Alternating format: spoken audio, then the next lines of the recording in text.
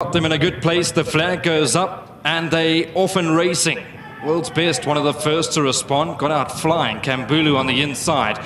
Also Sham Dash, and then comes Ngogo Shesha, who's going to go and whip around all of them. And Ngogo Shesha is showing some intent to go off and lead them. World's best is in second. Kambulu's in third. Tony Soprano is around runners in behind them. Four lanes off them. Coyote's only got about five to make up the red sleeves and the red cap. Desert Fox is racing midway through the field, about seven lanes off them. Then comes Severide, racing in the light blue with the two shades of blue. In fact, Severide about six or seven lengths off the speed. Promontory is behind that one. Then we drop back to Prince of Pride, who's a long way in behind them. Pedasos is behind that one, and Troya Setúbal's going to have to get past them all. I would say there's 12 lengths from top to tail. It's Ngogo Shesha who's going to take them onto the false rail 600 meters from home. World's best is poised to strike. Desert Fox on the inside.